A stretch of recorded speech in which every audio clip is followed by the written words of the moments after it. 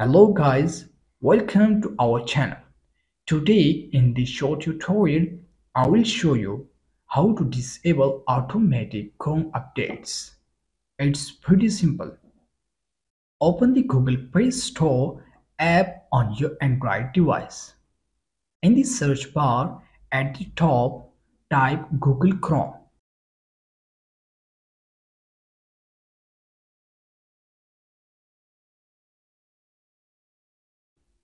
In the search results, tap on the Google Chrome app icon.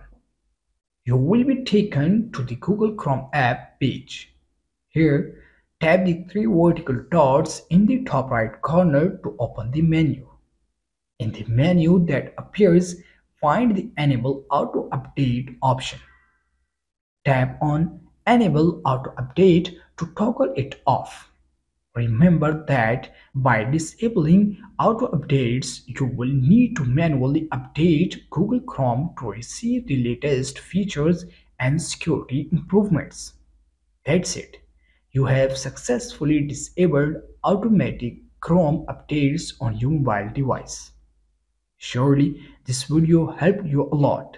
If yes, please like this video and don't forget to subscribe to our channel and share this video with others. Thanks for watching.